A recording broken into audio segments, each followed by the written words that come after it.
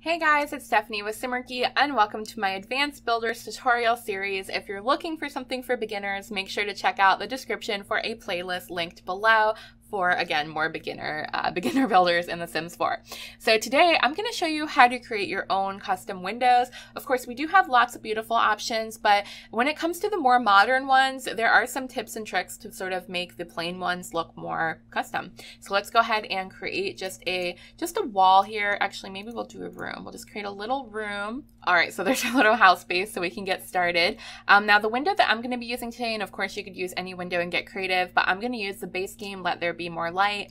It is just a very basic modern two tile window and it kind of gives us an extra canvas to play around with.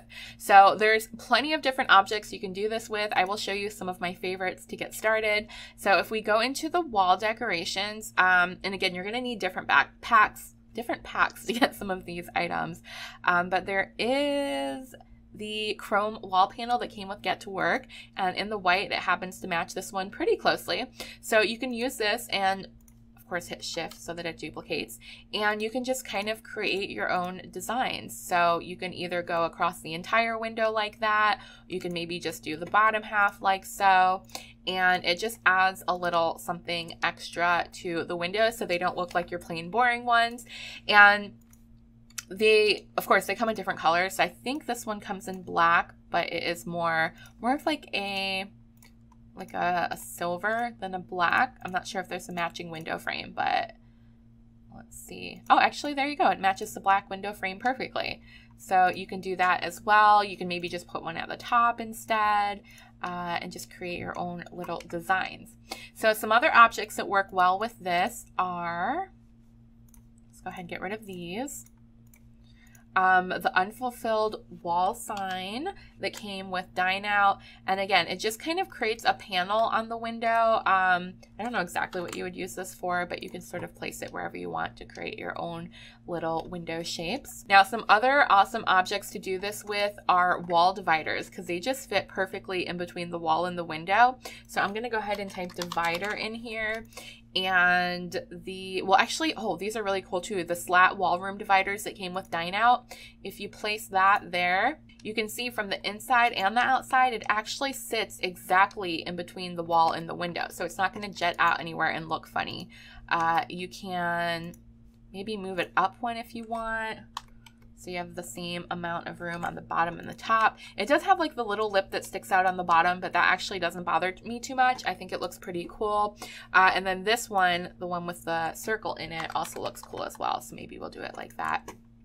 And you can just see the different types of things you can start creating with the windows. Uh, some of the other fun wall dividers that this actually looks really cool with is this one that came with City Living. And again, you could do more neutral colors or you kind of kind of pick some of the crazy colors as well, like this pink and purple one. And it just makes the cutest little window designs I've ever seen. the divider that came with bowling looks super cute as well. Uh, you just kind of stick it there. And again, this one comes in fun colors too. Um, like the black and orange. There you go. Of course, when you go at your different angles, you're going to see those colors a little bit better. But yeah, that is one of the ways that I like to make windows look different than they normally would. Um, there are, there's more dividers, obviously. You can use other objects too, just kind of to get creative, but this one maybe, mm, the lip on the bottom makes it harder. Ooh, the candles, that looks cool. Wow, that's kind of cool for a window. I don't know. It's different, right? It's different, but it looks neat. You can play with wall decals, of course. I don't know if any of them would be super cool for this, but um, let's see. Maybe if you were doing a kid's room, you can play with like the little decals and put those in the window. That's always cute. Oh, this object's kind of interesting too. This is all from also from Dine Out. It's called the Dry Leaf Lattice.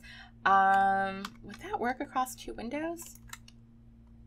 Oh, that's kind of cool. That kind of works across both windows. Or if you just had one window, maybe you could just make it smaller.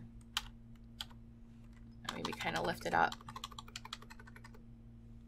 I wonder what two of those would look like. I don't know. I'm just getting creative. Obviously, like I said, you can use any item you want for this as long as it sort of fits well. That, that one won't go down. I don't know. I don't know. just just something to think about, something to just get your mind working a little bit differently, looking at items in different ways that maybe you're normally used to looking at them. And I love this type of stuff. So if you had fun, make sure to subscribe so you don't miss the next video. I post tutorials. Well, I guess there's an entire tutorial series. There's a beginner's one and an advanced one. So make sure you subscribe so you don't miss it. And I will see you in the next video. If you guys have any other ideas of what you want to see, make sure to comment below. And I hope you have a wonderful, wonderful day. Bye! Wait guys, before you go anywhere, don't forget to click over here to watch new videos and click on my face when I disappear to subscribe.